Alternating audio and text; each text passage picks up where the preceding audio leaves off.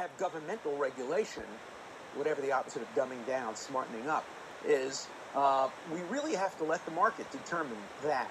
Uh, and it's very hard because we have a Gresham's law of politics, and uh, you know the, the cheaper and, and nastier you get, the more you prevail.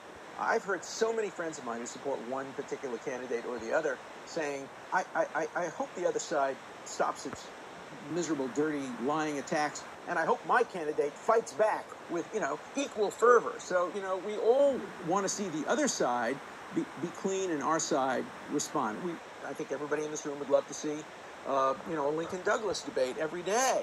But uh, we're not going to see Lincoln Douglas debates, I don't think, uh, anymore in our society, because today Abraham Lincoln would not be elected president. Thomas Jefferson couldn't get elected dog catcher today.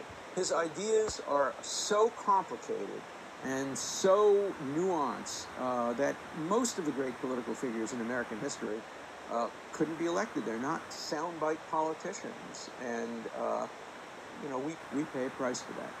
Yeah, yeah.